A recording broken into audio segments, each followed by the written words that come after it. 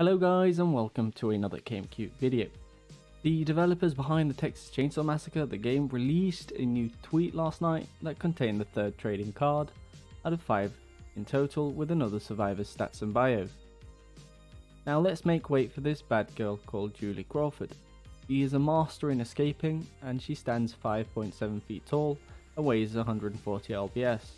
She is also 21 years old from San Clemente, California.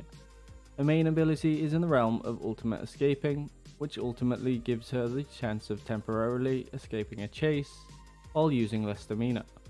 And on top of that, she will become harder to track, so she could dash to safety. Now let's take a look at the attributes distributed into her skill tree. She's got 25 points in toughness, 30 points in endurance, 10 points in strength, 20 points in proficiency, and 40 points in stealth.